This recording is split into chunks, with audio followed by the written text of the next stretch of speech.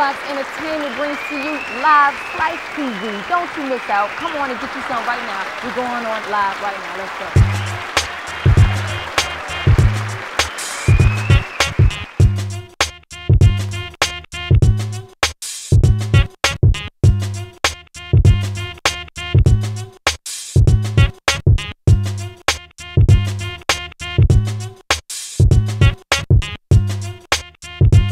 Slice TV.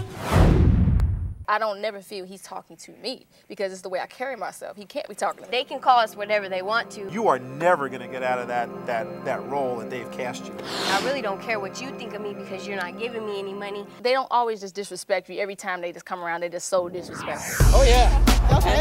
I love rap.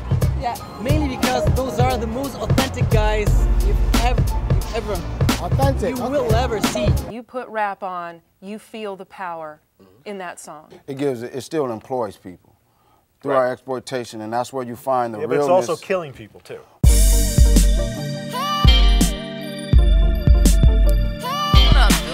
well, I mean, but so, the inner city is killing people. War is killing people. We hip hop. We are not gonna follow your rules to the T. It's not gonna happen. You won't do this to us anymore.